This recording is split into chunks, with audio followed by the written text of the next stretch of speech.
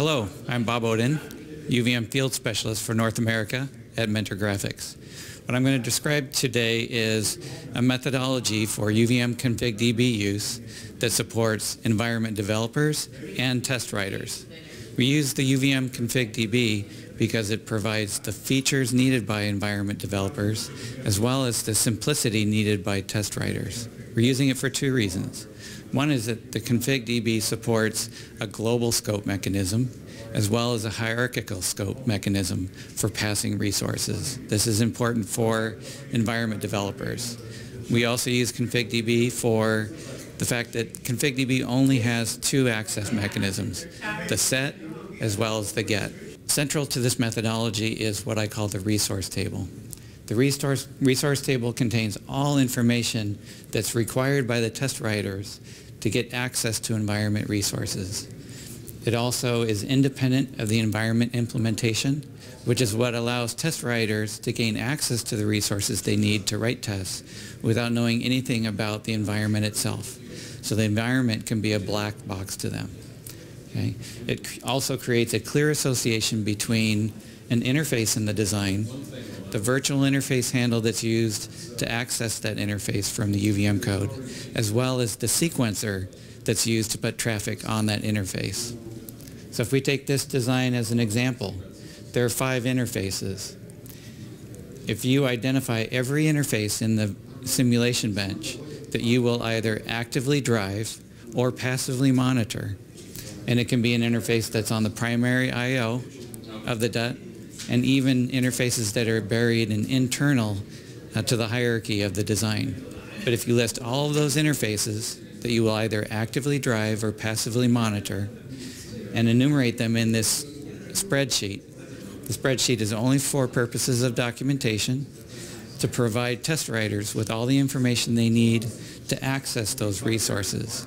The resources that we're talking about are the virtual interface handles for interfaces, configuration uh, files for interface agents, as well as the sequencers that are used to put traffic on those buses. The resource table has four columns. The first column is the interface description, which identifies the interface and the design that you're testing.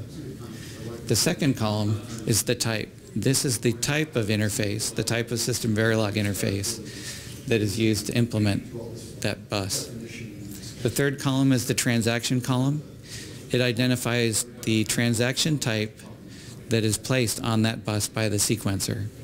And then the fourth column is a unique identifier. It is a string and that string uniquely identifies each interface that's in the table. This string becomes the association between the virtual interface handle as well as the sequencer that's used to put traffic on that interface. So we'll take the fields that are in this identifier column and we'll make them parameters. We make them parameters so that any errors made in the strings are identified at compile time instead of runtime. These parameters are then used when passing the virtual interface handles. So it uses the config db set function to place the interface handle into the config database. The scope for this set call is null virtual interfaces. Virtual interfaces being a string. That virtual interfaces scope is a general scope that's used for all of this uh, all of the interfaces. The field name argument for the config.db set call is the identifier that we set here as a parameter that came from the table. That field name uniquely identifies that interface within the config database. That same string then is passed to the agent's configuration class as a variable so that that configuration class for the agent can pull the interface from the config database using that same generic scope.